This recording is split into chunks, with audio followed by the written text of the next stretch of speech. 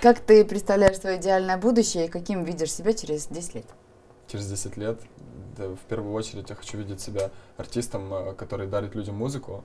Во вторую очередь, я хочу себя видеть отцом и э, хорошим отцом, которого будут ставить там в пример, знаете, как в передаче говорят, там, э, прекрасного мать, там, ты такой вот. Хата на да. Ну, что-то типа такого, чтобы я просто знаю, что я буду дарить тепло, любовь, и я буду последнюю рубашку отдавать за своего ребенка. Я очень сильно хочу детей. Может, это все говорят, ты такой глупый, зачем тебе в 22 ребенок? Я очень хочу ребенка.